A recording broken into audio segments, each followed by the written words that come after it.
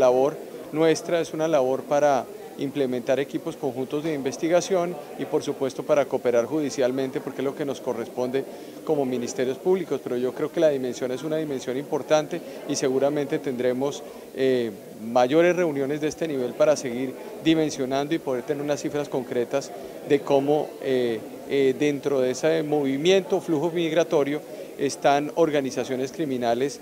penetrando eh, para afectar, digamos, el paso también de esas personas. Los ministerios públicos de la región venimos haciendo la tarea a fin de mitigar el impacto delictivo en esta migración, pero como bien se dice, hace falta que otros sectores sociales hagan, también eh, parte de su tarea a fin de resolver un problema regional que se ocasiona no eh, solo por temas delictivos, sino por temas sociales, por temas políticos en las diferentes regiones. Eh, y esto de alguna manera eh, reitera eh, el compromiso de las fiscalías